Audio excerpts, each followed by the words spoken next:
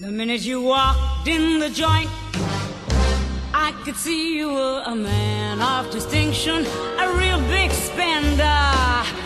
Good looking, so refined. Say, wouldn't you like to know what's going on in my mind? So let me get right to the point. I'd pop my cork for every man.